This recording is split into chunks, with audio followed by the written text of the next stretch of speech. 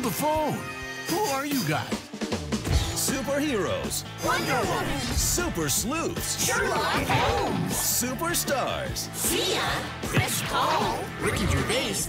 You'll never guess who's going to turn up on Scooby-Doo. And guess who? It looks like we have a real mystery on our hands. Of course it's a real mystery. You just saw... There's a cat-headed mummy trashing my apartment.